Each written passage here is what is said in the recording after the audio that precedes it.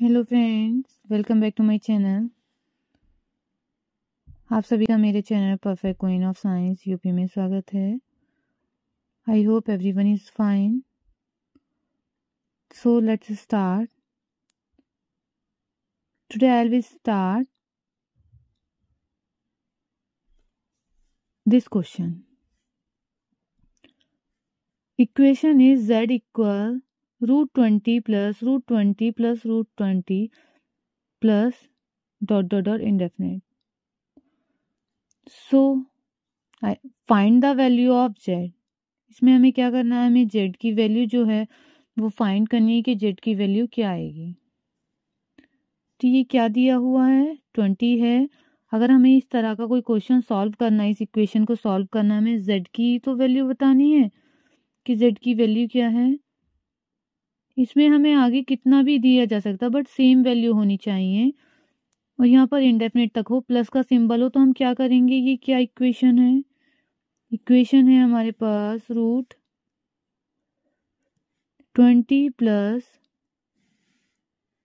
root twenty plus root twenty dot dot dot indefinite indefinite तक आ जाएगा, यही चीज़ लिखा हुआ।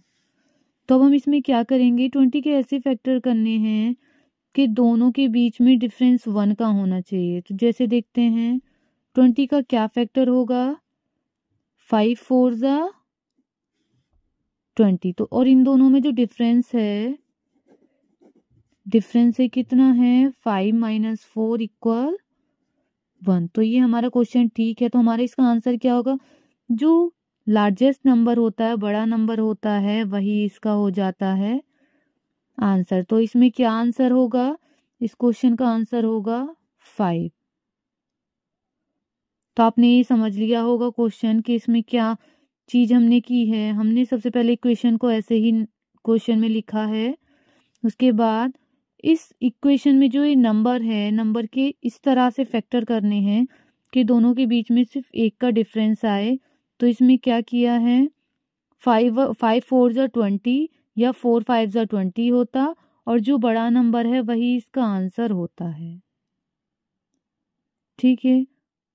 तो इसी तरह से मैंने आपके लिए ये एक सेकंड क्वेश्चन मेंशन किया है, जिसको आप खुद सॉल्व करेंगे और जो आंसर होगा इसका, वो कमेंट में मेंशन कीजिएगा कमेंट कीजिएगा। और अगर वीडियो अच्छी लगी है तो वीडियो को लाइक कर दीजिए। चैनल पर फ़र्स्ट टाइम विज़िट कर रहे हैं तो चैनल को सब्सक्राइब कर लीजिए।